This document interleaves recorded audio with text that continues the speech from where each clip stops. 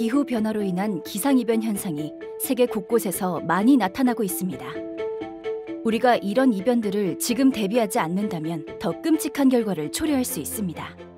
서로 연결되어 있는 인프라 네트워크에서 장애가 발생하게 되는데 이는 통신 서비스, 수도, 전기 등의 공급이 중단되는 것을 의미합니다. 이는 사람들의 일상생활에 심각한 영향을 미칠 수 있으며 이런 일들이 점점 흔해지고 점점 극단적으로 변함에 따라 미래에는 더 큰 문제가 될 것입니다.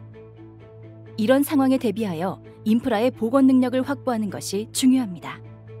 The climate change resilience of infrastructure networks is a challenge that is not yet well understood and is one we need to address urgently. Asset owners really need to know who are they dependent on.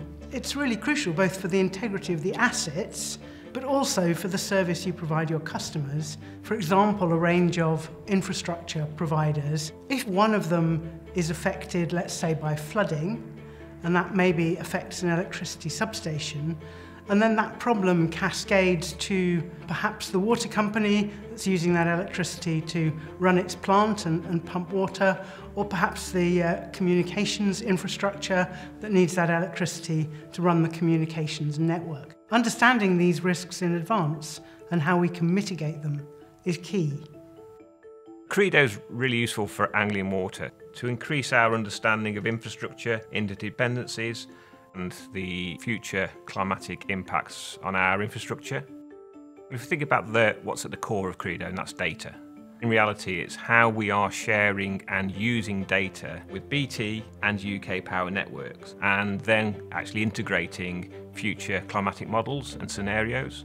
So once you've got that data in a connected digital twin that Credo provides, it means that then we can start to visualize this data and use asset failure models to look at how assets become impacted and how quickly and over what sort of time period. This is really about planning for the future. So if we can really understand how our infrastructure is going to be impacted in 10, 20, 30 years time, that means that the investments that we make and our partners make are in the right areas to protect our assets and ensure that we continue to provide that service to our customers. This will allow asset owners to use Credo to see the effect of extreme weather events on the combined infrastructure network. And crucially, this will inform what interventions they can make to increase the system resilience.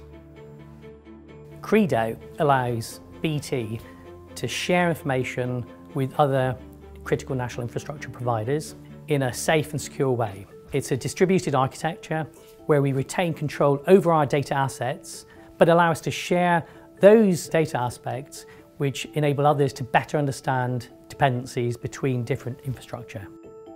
Credo has been designed so that it can be extensible to other asset owners, new sectors, wider geographical regions and a range of extreme weather events. The wider benefits are actually, you know, it improves overall resilience. The more participants there are, the more holistic the solution that we, we see and a better understanding of that interaction between those wider uh, network groups, increasing the benefits from using Credo.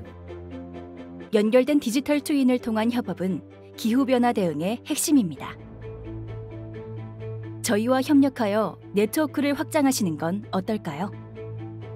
함께 하시려면 디지털 트윈 허브, 크레도, 테이킹 액션 페이지를 방문해 주세요.